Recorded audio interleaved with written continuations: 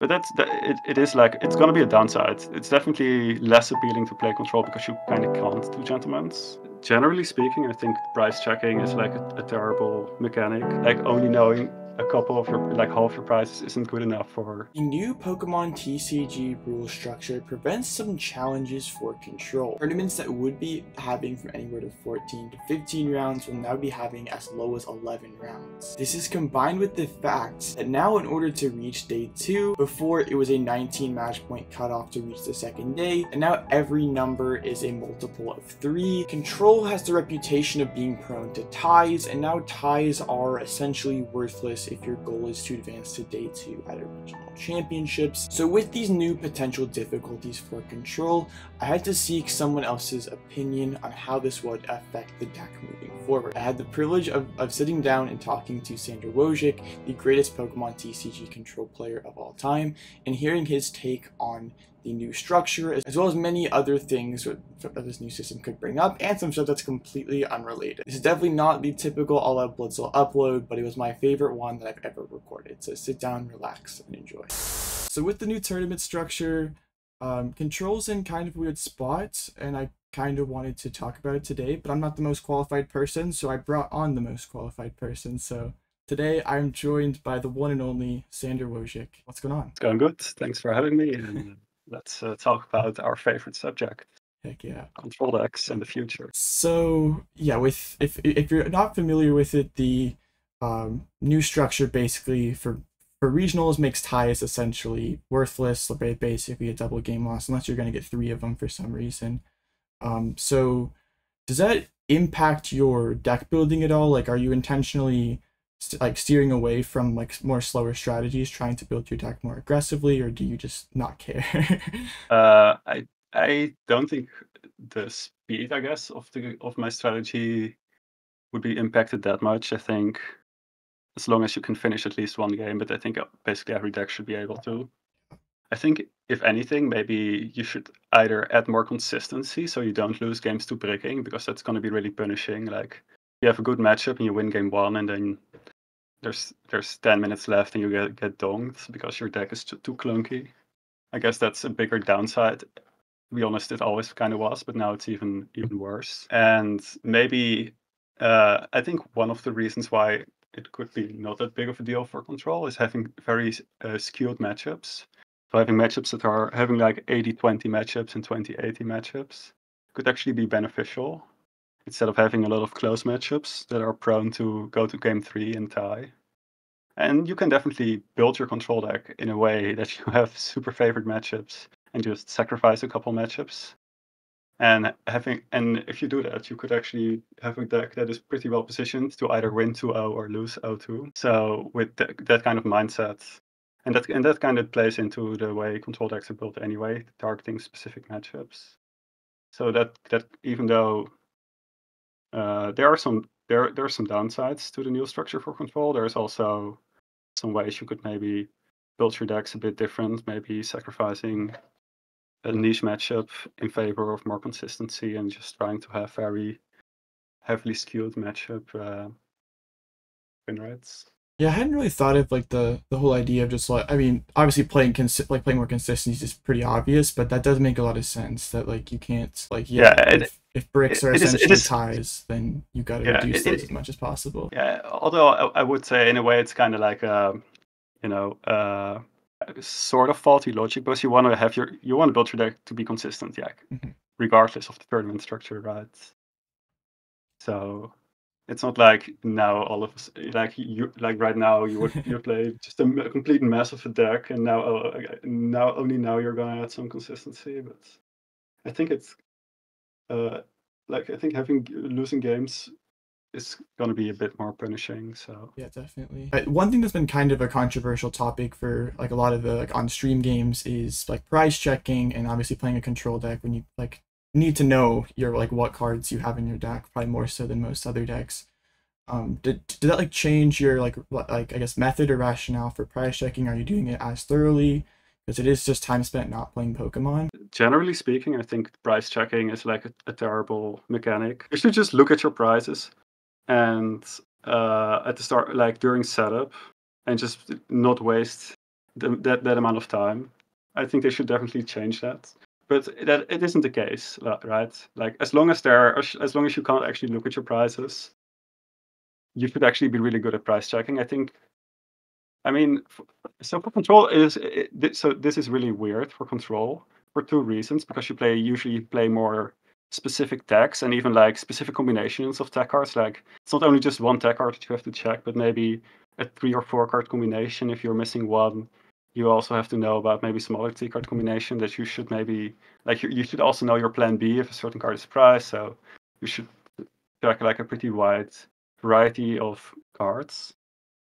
I also think prize checking, like learning it, is kind of easy, but also super boring. Yeah, What you should really do uh, once you have your deck list set for the tournament, you should just take 10 minutes, shuffle your deck, place down six prizes, and, and and check what those six prizes are, and do that like 10 times in a row, maybe even more.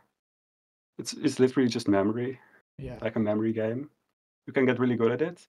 And there's one other thing why for control, and this has this right now it isn't the case, but there have there are cer- certain cards that are way way way better if you actually check your exact six prizes.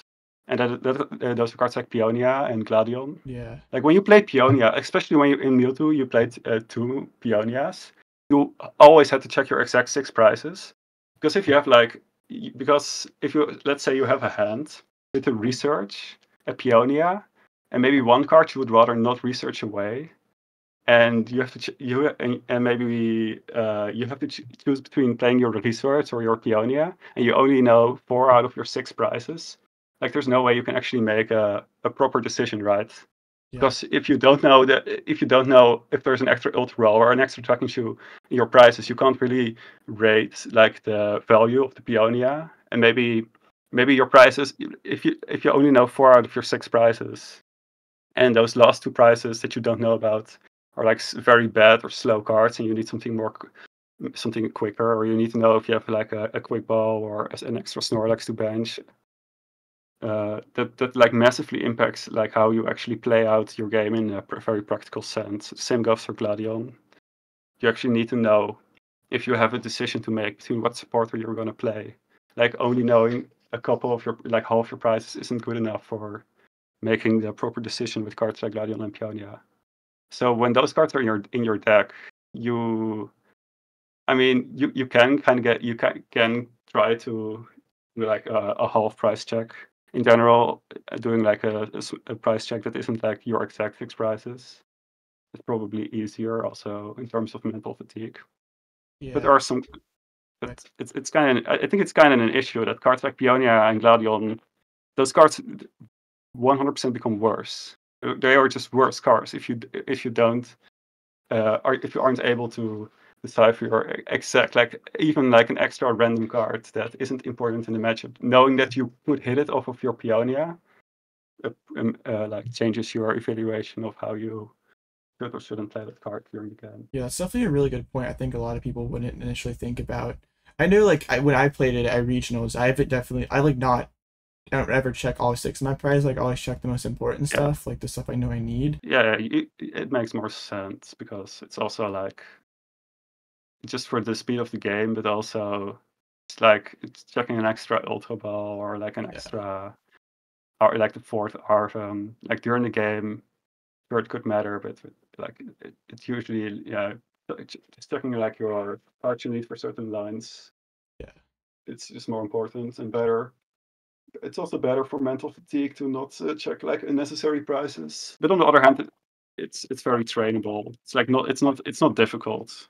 Like it's not in it's not there's no tech there's no tactical element. It's just uh, something you could train, like prize checking.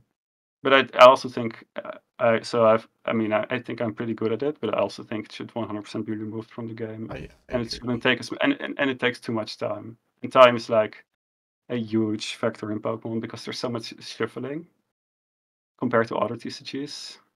Like the amount of shuffling in a Pokemon TCG turn is actually ridiculous. Like I think at a region, like in a Pokemon match, you you are just shuffling your deck for like you and your opponent combined. It's like ten minutes of shuffling or something That's crazy. sometimes. But uh, yeah, in, in terms of uh, how this relates to like tying and like time management. I, I, mm, I think you shouldn't really prize check less because of the ties because it, it could be so like losing in an entire game because you prize check you didn't check a certain like uh how many of your like DTEs are are in your deck. Yeah. Can be way, way more detrimental than maybe tying because uh, you prize check too long. Definitely agree that like practicing prize checking is like a really good like thing to point out because I definitely feel like it's something that people do not do. They just it's very boring. It's not yeah. interesting. Yeah, it's not fun. It's it's not how people play the game, right? It's not like oh, I want to play Pokemon, and the the skill I want to improve is uh, my prize checking. I don't think anybody thinks like that. Yeah, if a lot of your testing's on live as well, like prize checking on there is so much yeah. easier because all your cards yeah. are stacked and stuff. So yeah, it's exactly. not really the same thing even. One thing I also did on PTCGO, like you could when you're discard, you could sort your discards, right? Oh yeah. When you looked at your opponent's discard, I always di- I always always didn't because it's more similar to like how unorganized the discard pile is in real life. There's also in, in real life there's like you're I guess like tracking more things because you actually have to like do the, apply the rules of the game yourself, right? When you deal damage, you have to do it yourself. When you're making actions, like you're you're you're like busy with more things. Mm-hmm. So also like having having like a mental track of what's in your prizes is also more uh, uh, just another thing to add when you're also trying to make sure you are following the rules of the game, your opponent is following the rules of the game, and on live, uh, the game makes sure that the, the rules are actually handled properly. So kind of on the same like line as prize checking, it's like a kind of another time management thing. Um, I don't know what your like stance on it, like gentlemen's agreements was um, like before these um, like rules that made ties a lot more punishing but has that like philosophy changed at all with these new um, updates? Are you still? Uh, well, actually, I, I can't even remember the, the, the last time I've ever done a gentleman's because it's so. In, so in theory, you in theory, I would do gentlemen's, but only with people that I know. Yeah. Because you can do gentlemen's. You you could in th- you could technically do a gentleman's agreement based on board state. Yeah. And if you know your opponent, you I, I think I, I, if if I if I know my opponent, I think I would do a gentleman's based on board state if if my opponent agrees. Because on prizes, it's like to. I mean, I guess you can take prizes with control, but yeah, slower style deck is not going to have the advantage in that kind of game. Yeah, but but I, I guess uh, uh, a, a, a gentleman's based on board state is uh, it's very very much open for interpretation. So the reason I would only do it with people I know, it's not not because it's it's mainly because I think you would need very clear communication. Yeah, definitely. So you would you, would be you should be able to really understand what you and your opponent are are saying when you're you know determining who who has a better uh, who has an advantageous board state, who has more resources left, etc. etc. Like there's a lot of information you kind of have to like work out like who's actually ahead, and there's not much time. You should like be able to handle this pretty quickly. So I think you can in theory do this, but you should probably only do it when it's kind of clear that you and your opponents you know uh, have have a good line of communication. And uh, at large tournaments you more often than not play against people maybe you kind of know them but you know it doesn't happen that often that you play against someone someone you're really familiar with. You, you kind of uh, a lot of the times I don't do gentlemen's. I mean, usually people also don't ask me because they know it's. Uh, but that's that. It, it is like it's gonna be a downside. It's definitely less appealing to play control because you kind of can't do gentlemen's, yeah. and other decks can. So I think, I think the tie rate of control decks, uh, actually isn't any higher than other decks. But I, I think the gentlemen's thing is like the the major downside of control in this new uh, tournament structure because you kind of want to avoid ties, and gentlemen's is one way to avoid ties, and you kind of don't have access to it. I didn't like. I never really found myself offering them too much last year. I did like one time at like day two of a regional, like when a tie like knocked us both out of cash. Um, but yeah, it's like hard to be like tell your opponent like, yeah, you have two prizes left, but you have no possible way of taking your last two prizes. Yeah. So like, I'm gonna win this like, game. Like, oh, you have you have you have no switches left, so I guess you should yeah. I mean, like if you're if you if you're gonna win the game and you and you and your opponent agreed that you're going to do adjustments based on board state, I guess, then it would be fair. But that doesn't really happen. I Yeah, one of my one of my friends on a win it in did a gentleman's on prize cards, which did not end very well for him. So yeah, definitely do not um yeah, do not do gentlemen's based on prize cards playing control. Yeah. I guess maybe with something more like aggressive like Luxray builds, maybe it's maybe it's better, but yeah, just in general as like a rule. Um it's it's not advisable. Was there anything else that you wanted to bring up? Yeah, I mean, I, I guess some some general things. Looking at the tournament structure, I think it's going to be more difficult in general to make day two. I think with 19 points out of nine rounds, you needed a 70% win rate, and now you need a 75% win rate. So you just need to win slightly more to even make day two. And there's less rounds, so the variance is higher.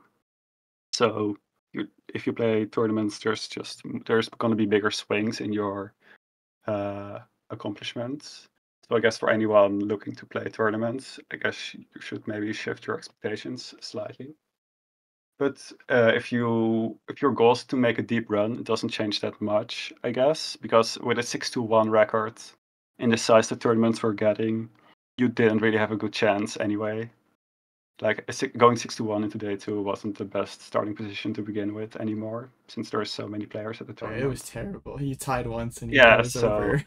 So you, you basically you, you you more or less needed like a seventy five percent win rate on day one, at least, maybe even more, to have like a good shot at a tournament. So in the grand scheme of things, uh, maybe there doesn't change depending on your uh, goal. Doesn't change that much. And we, we, we shortly talked about this before, but maybe if you're kind of on the fence, if you want to play control or not, maybe you like some other decks as well, but maybe you are open to play control, but you're kind of don't look forward to playing nine hours and another five hours of this, this super slow deck. A lot of also not only is the deck kind of slow and your matches go long, but your matchup, the way your matchups play out, are also super different. Like it's, it isn't as streamlined. You might play nine rounds, and every single round you need to apply another uh, strategy, another win condition, and that can be kind of fatiguing. So actually, cutting down on the rounds if you uh, are not as experienced or who don't like having that kind of tournament, maybe it's actually a good thing that you, that you can actually play control and play eight rounds, then another four rounds. It's, it's slightly less. It's not as uh, it's not as devastating of a weekend uh, to play. Maybe for, for me personally, that that's not a factor. I actually love playing the super long uh, the super long tournaments. But I have definitely talked to people who they like control, but they don't uh, want to spend their their uh, their weekend. It's a hobby. It's like kind of like a holiday, something you do for your own uh, your own pleasure. And then having like a super super long day it's maybe not what they want, and that becomes a little bit little bit less bad. With uh, one less round on each day, so that could be uh, a benefit, I guess. So overall, do you have a positive or like negative um, outlook on these changes, or um, Well, I think so. Okay, so the changes in general, I think they do make sense. I think with the size of, I think nine rounds on day one, going to eight rounds, that's completely understandable. It's basically there was no way they were gonna, you know, keep this up. Like the the, the mainly for the staff, it, the days were just so long, and with the player sizes increasing and increasing and increasing. Also, the, with the size of the tournaments increasing, the uh, what what's it called? Like the, the the additional time that each round takes is going to be higher because there's a more a bigger chance that somebody has like a long judge call. Yeah. So some, I mean, some of the tournaments have uh, this season. You know, day one ends at like at like eight or nine. yeah, It's like crazy. Like uh, so on day one, I completely understand that they shorten it to eight rounds. It, it's it's very reasonable. But uh, I, I do I do actually have an issue with the way they do the day two, and especially looking at Europe. I think in America, most of the tournaments are gonna go over 1,000 tw- uh, 1,024 players. But in Europe, we had a couple tournaments that were like just over like 900 players, right? And with uh, let's say a tournament has like 900 950 players, then that means we are only have, gonna have 11 Swiss rounds, and only three rounds day two. That's kind of crazy. and that's that sounds really rough, especially since we we would have had uh like I, I think I looked I I looked at like the the like the last season in Europe, and I think if we would would have applied this this structure right now, I think we we would have lost like uh, something like 14 rounds of Swiss, and that's like a lot. But also a lot of a lot of our tournaments just happened to like kind of. Uh, I think uh, most of our tournaments were sold out, but they the cap is kind of like around just around like a thousand, just around 900. Maybe the cap is like a thousand players, and the 900 something show up, and that means that. Uh, also, also, it is uh, um, something to, to also note that there is going to be a uh, an asymmetrical top cut. So if you are in contention for top eight, you basically gain an ex- you you get you basically get your extra Swiss round in day two.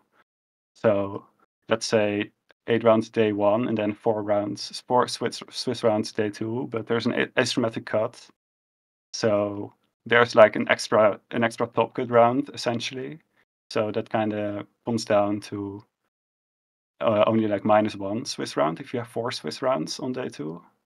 But unless you are under 1,024 players, then you you're gonna miss two Swiss rounds on day two. And I, I in my opinion, that is uh, maybe a bit too much. Yeah, it definitely punishes bad matchups, bad draws a lot more. Yeah, the the variance is gonna be yeah, but yeah, the variance is uh, maybe a bit too high. I actually liked the way that this is this is maybe a bit more in line with other TCGs, but I, I like the way that Pokemon had so many so many Swiss rounds.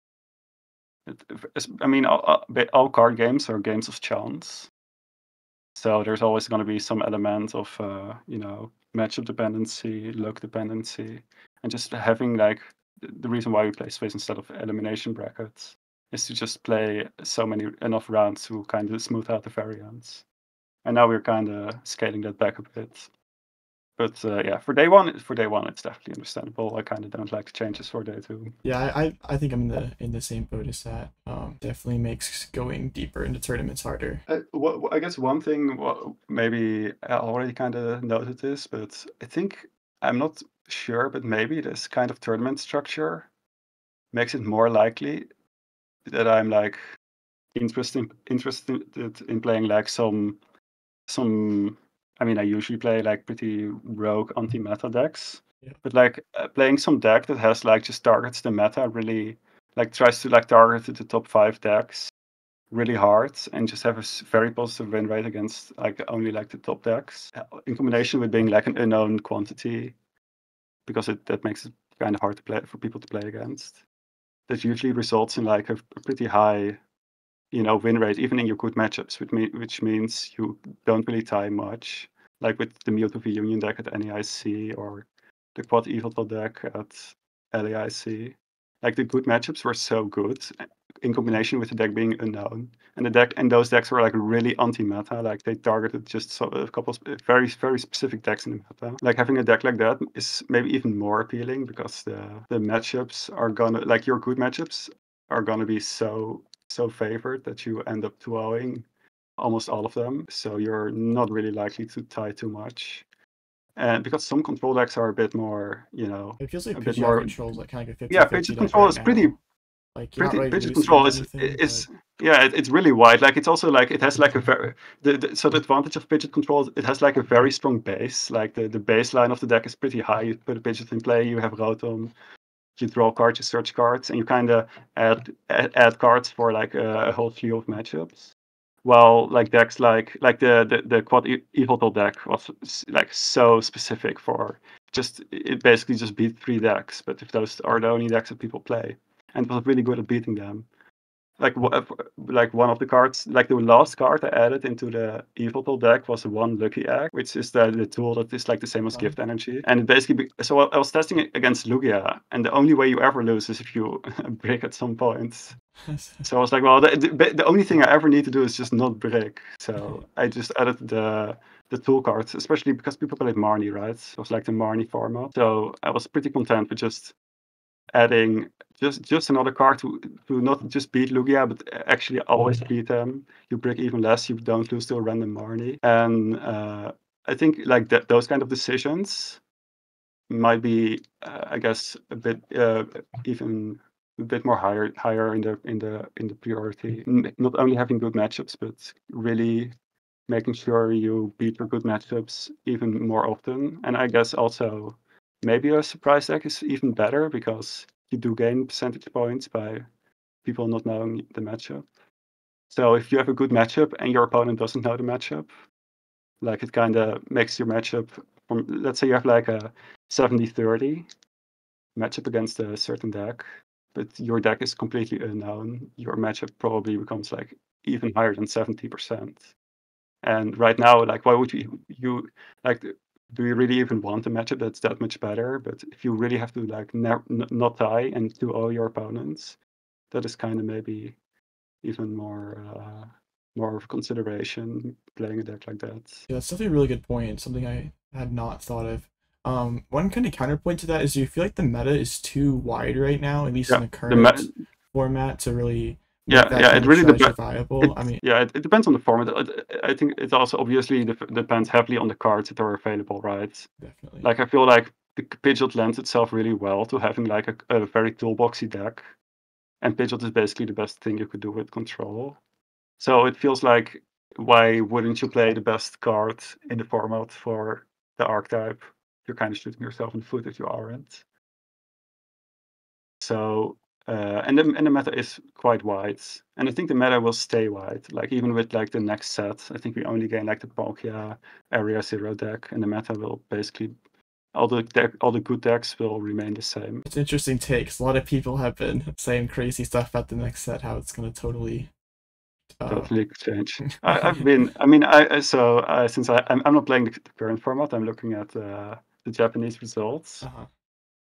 And uh, I mean, looking at their results, it's it's still like Regidrago, Gardevoir, Charizard, Bolt, and Palkia.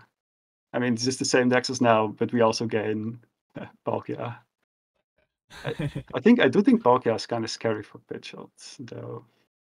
Yeah. Because they can they play the Noctowl and they can Prime Catcher, canceling Cologne, Ninja like uh, the Shuriken yeah, kind of easily. Yeah, yeah, it is true. The meta is wide. It's like playing a deck that only counters a couple decks feels pretty bad right now. I guess uh, it's like it's kind of funny in a way. It's like Pokemon actually managed to make a couple different decks that are all viable, whereas for a while it was just like Lost Sandbox and Lugia, and if you didn't play Lost Sandbox and Lugia, your deck probably was kind of kind of medium.